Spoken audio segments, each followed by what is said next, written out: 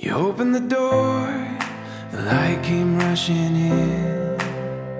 I suddenly saw a brand Děkuji ti za každičký den, který mohu strávit po tvém boku a být součástí tvého života.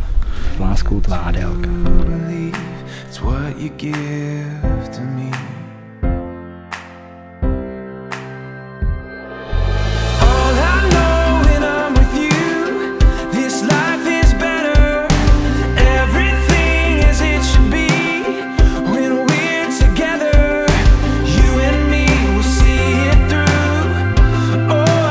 Takže právě teď by mělo pršet u nás.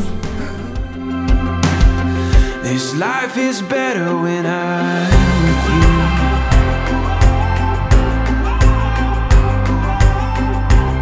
Radimek je ten nejochotnější člověk eh, na světě, který ho znám.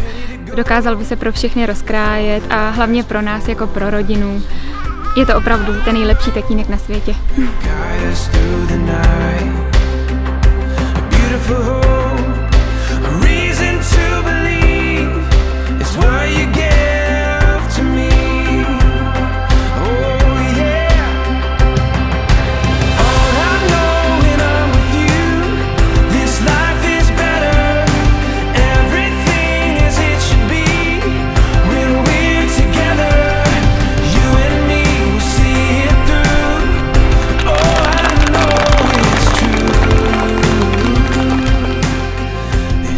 This life Já si bych chtěl možná povědět, aby to Adélka i věděla, že, že největší štěstí, když teda pominu dětí, je ona, že jsem jí potkala, že mám tu možnost být s ní, že si toho neskutečně vážím. Byť to nikdy nevybarám, ale jen přes ty všechny moje neduhy jí strašně moc miluju a hrozně si jí vážím.